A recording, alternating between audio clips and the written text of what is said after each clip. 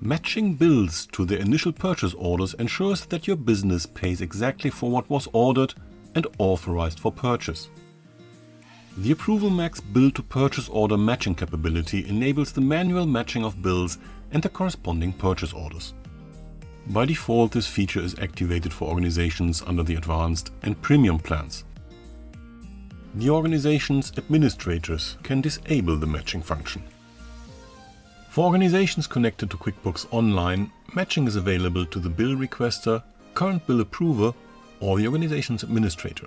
This video will show you how the manual matching of bills and purchase orders works from an approver's perspective. Navigate to Bills on Approval in your organization to see which bills are pending approval. Open a bill that is waiting for approval and assigned to you as an approver. As an approver, you are able to match this not yet approved bill with its corresponding purchase orders. To do so, click on the matching button for each line item. As a result, the list of all purchase orders that meet the matching criteria will be generated and displayed. This list is based on individual matching criteria, for example purchase orders with the same vendor and currency, product service or category as in the bill. Select the purchase order and the line item that you want to match. Then click on the Match button you can only select one purchase order for every line item that is to be matched.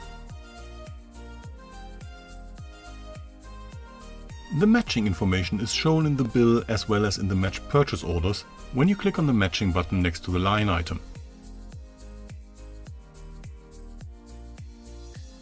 If necessary, the matching can easily be changed or removed.